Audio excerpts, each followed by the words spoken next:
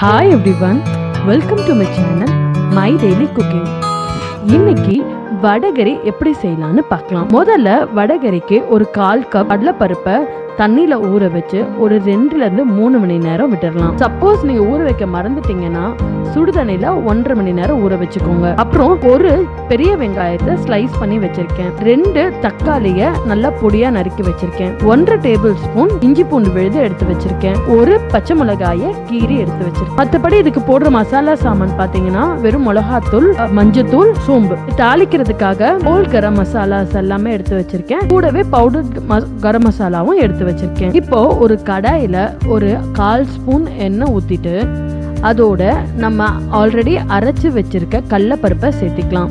கடலப்பருப்பு அரைக்கும் போது சுத்தமா தண்ணியும் இருக்கக்கூடாது அதே சமயம் கொர கொரன்னு அரைச்சிக்கலாம்.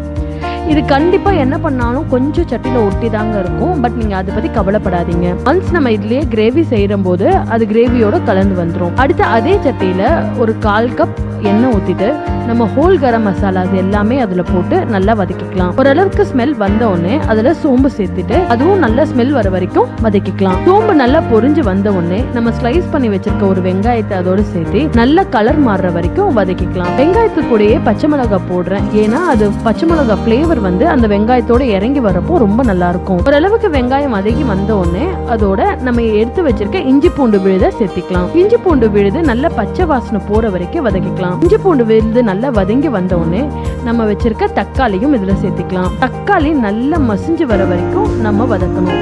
அதுக்கு உப்பு கொஞ்சம் சேர்த்துக்கிட்டீங்கன்னா நல்லா மசிச்சு வந்துடும் இந்த டிஷ்ஷுக்கு தேவையான மொத்த உப்பையும் நான் இதுல சேர்த்துக்கிட்டேன். தக்காளி நல்லா மசிஞ்சு வந்துருச்சு. இப்ப பாத்தீங்கனாலே தெரியும் அந்த வடச்சட்டியில ஒட்டிட்டு இருந்த அந்த கடலப்பருப்பு எல்லாமே மசாலாவோட மிங்கிலாகி வந்துருச்சு. இப்ப நான் வந்து வெறும் மிளகாத்தூள் கொஞ்சம் கரம் மசாலா கொஞ்சம் சேர்த்துக்கிறேன். கூடவே கொஞ்சோண்டு மஞ்சத்தூள் போட்டுக்கிறேன். இப்போ இதை எல்லாம் நல்லா கலந்து அந்த எண்ணெய் பிரிஞ்சு வர வரைக்கும் வதக்கி எடுத்துக்கலாம்.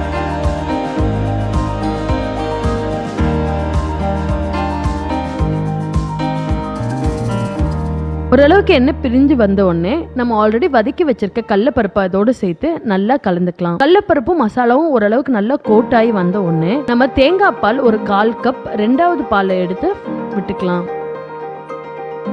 தேங்காய் பாலும் இந்த மசாலாவும் நல்லா கொதிச்சு வரட்டும்.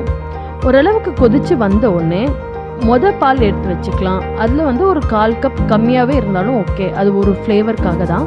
ஸோ அது கொஞ்சம் சேர்த்துட்டு ஒரு கொதி வந்த உடனே கொத்தமல்லி தழை தூவி அடுப்பை அணைச்சிடலாம்.